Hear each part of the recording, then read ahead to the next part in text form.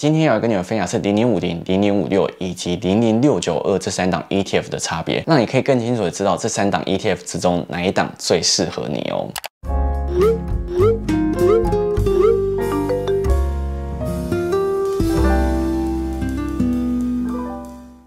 好，我是徐你，今天想来跟你们分享的是热门 ETF。大评比。自从盘中点股交易开放之后，我相信应该很多小资主都尝试利用这个方式来购买股票。那今天就要简单的跟你们评比几个比较常见的 ETF。如果你们兴趣的话呢，就继续看下去吧。在影片开始之前，如果说你想要接收更多有关于信用卡或者是理财的资讯的话，要记得先按下订阅钮，并且开小铃铛设定全部提醒，这样子有最新影片在第一时间就会马上通知你哦。今天来跟大家介绍的 ETF，除了零零五零以及零零五六这两个比较广为人知的 ETF 之外呢，还要来跟大家分享是近期讨论。度非常之高，也就是零零六九二，就是富邦公司治理。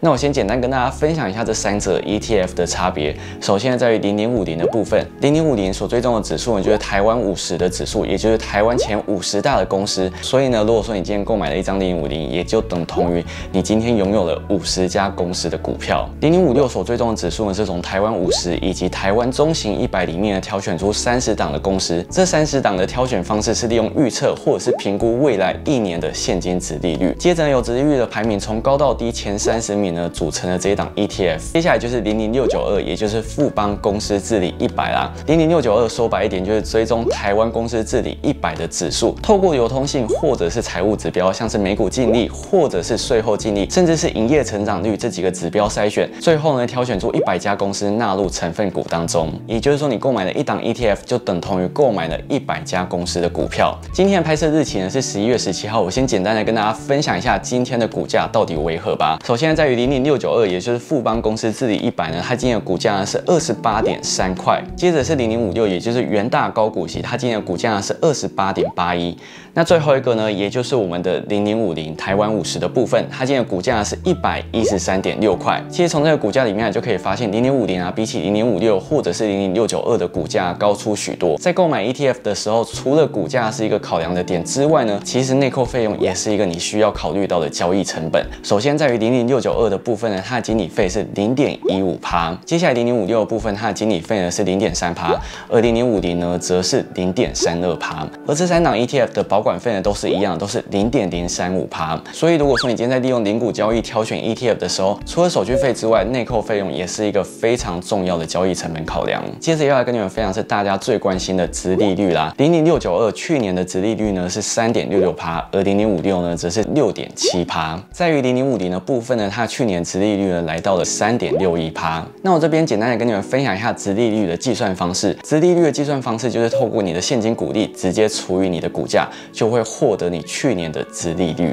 当然，你今天在购买股票的时候，除了配息是一个很重要的因素之外呢，其实呢，股价以及绩效也是一个非常重要考量的因素。我这边就先简单的跟大家分享一下这三档 ETF 它们表现的绩效到底为何吧。那因为零零六九二它的成立时间比较短，只有三年，所以我们就透过这三年绩效来进行评比。以下要跟你们分享的绩效是包含配息的总报酬表现。首先是在于零零六九二的部分，它三年的绩效呢是三十四点九四趴。接下来是在零零五零的部分，它的绩效则是三十四点八趴。最后是零零五六部分，它三年以来绩效是二十九点九四趴。这些绩效的资料来源也都可以透过投顾投信的工会去查询哦。那我真的必须老实说，其实零零六九二的绩效啊，超乎我的意料之外，因为它是比零零五零还要高一点点，而且呢，它比零零五六整整高出了五趴那么的多。虽然说不得不承认零零五六啊，它的配息金额是比较高一点，但是如果说你把绩效都纳入考量，配息最高的表现不一定是最好的。因为如果说总体绩效没有往上升的话，不见得会是一个最好最好的考量哦。如果说你们对以上的资料有兴趣的话，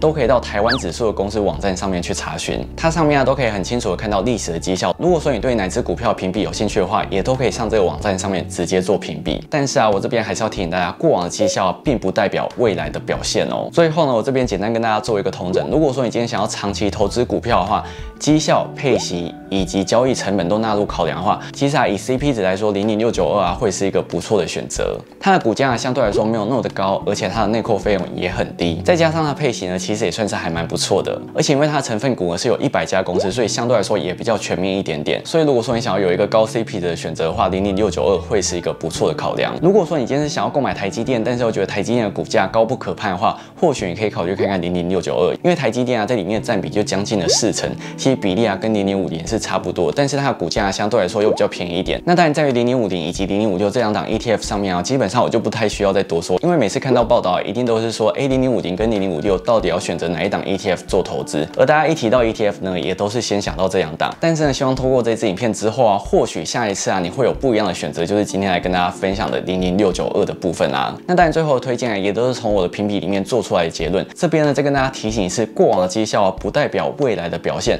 它都只是一个参考值而已。但是啊，有过往绩效的 ETF，其实就跟股票一样。它的股性啊是会比较好掌握，所以啊在投资的时候回测资料也是比较值得参考的。如果说你还有其他 ETF 你觉得还不错，或者是想要评比的话呢，也都欢迎你们在下面留言告诉我。今天影片就跟大家分享到这边，如果喜欢这支影片的话呢，不要忘了喜欢或订阅我，记得开小铃铛才不会错过每一次上线影片哦。想关注我更多生活动态的话，都欢迎 follow Instagram 或是按赞粉专，也可以加入会员观看更多独家资讯，还有微博国魔法学训练。我们下次再见哦。拜拜。现在老师，我原本想说，哎，还是直接来跟那跟你们分享一下我定期定额这三档 ETF 的差。别但是我想说，之前就已经跟大家分享过我定期定额零零五零及零零五六的差别。如果说只是再加一个零零六九二进去，好像大家就觉得，哎，好像很普通。所以我想说，这次就加了评比进去，让大家可以更全面、更了解。那当然，如果说大家有兴趣的话呢，我之后也可以把我定期定额的绩效直接公开给你们看，让你们觉得说，哎，定期定额。哪一家股票或者是哪一档 ETF，其实可以得到什么样的成效？我觉得这是大家可能比较想要实际看到。如果说你们有兴趣的话，都欢迎在下面留言告诉我。那大家应该可以看到我今天的发型比较不一样。我今天有特地去找设计师帮我做一下发型。我今天有去拍封面照，就是我。呃，明年会出的新书的封面照，所以今天的发型可能比较不一样一点，你们可能会觉得哎，很特别。没错，其实真的还蛮特别。